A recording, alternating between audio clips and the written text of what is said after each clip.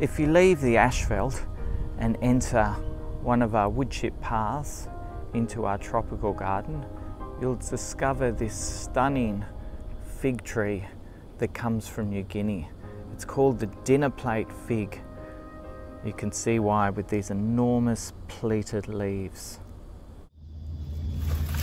So this is Ficus dammaropsis or the dinner plate fig and look at the size of these enormous leaves.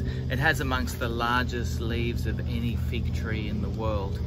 It comes from the highlands of New Guinea. It grows between about 800 metres and 2,500 metres. It's a relatively small tree, only grows to about 10 to 12 metres tall.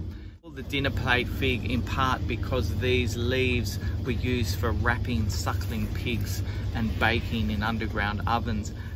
Like all figs, they have this characteristic structure that covers and protects new leaves. That's called a stipule, and that'll be ejected as the leaves emerge. Now, these also have enormous synconia. So that's the, the flowering structure of a fig. The flowering parts are held inside that structure. And like all figs, it requires a very small wasp to enter into that synconia to get covered in pollen and later emerge and help pollinate the figs.